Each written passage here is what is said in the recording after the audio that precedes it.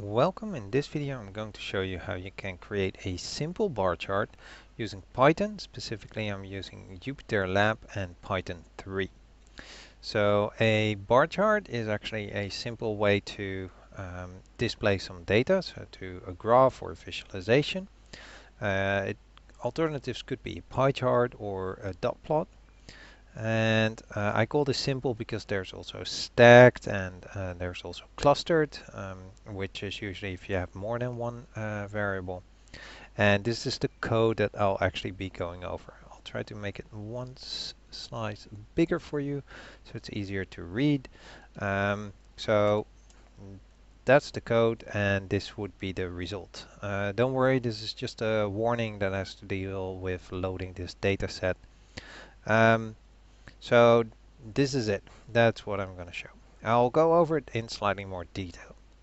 So to show an example, I'll will need some data. So I'm going to be using pandas for that. Um, import pandas and then load the data actually. Uh, I will put this file in the description so you can download and perhaps follow along. Um, and then just show the head and that's where that warning came from. Now I need one of these um, because there's quite a lot of data in here so I'm going to be using uh, in this case the marital status which was mar1 and uh, I can get a quick overview of that by using the value uh, counts and that will show me that there were 972 married, uh, 395 never married, etc. And this I want to be shown in a bar chart. To visualize this, I'll be using the pyplot. Um, not sure if I pronounced that correct. So I'll need the matplotlib, uh, and I'm going to name it PLT, which uh, is often actually done, so that you don't have to write down out in full every time this pyplot.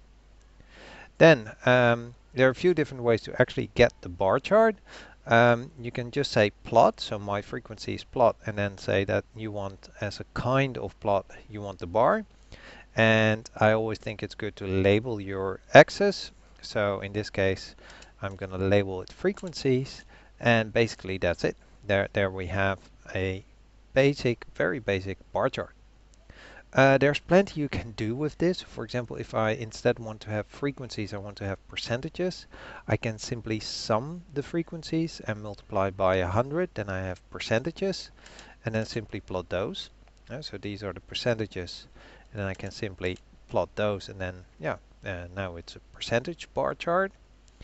Uh, we can actually also use the bar module instead of the plot. Uh, then we need to have the keys and uh, so the categories separate and the height so the frequencies or the percentages whichever you prefer.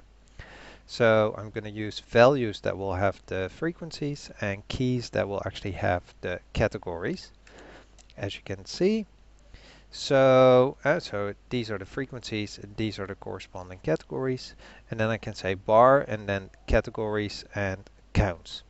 Um, just for fun, you can rotate uh, these axes so that the labels will be rotated a little bit, and then you have something like uh, this.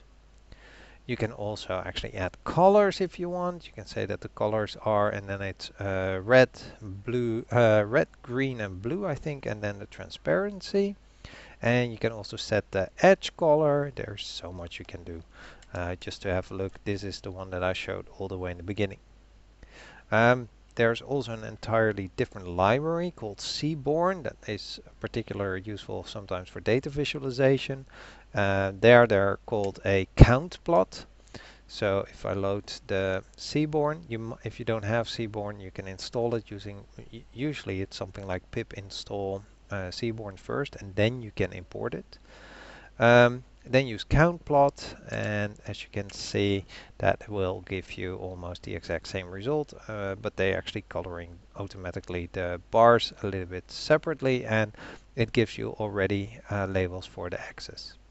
So this was just a very quick video on how to make a very basic bar chart. Hopefully it was helpful for you.